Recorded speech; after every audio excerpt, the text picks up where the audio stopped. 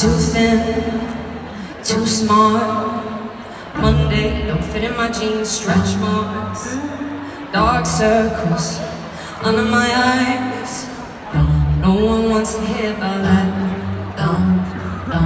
I'm sick of putting labels on myself, trying to fit in, trying to act like I'm somebody else. I'm taking all this pressure off myself.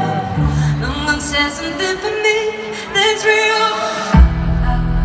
Okay.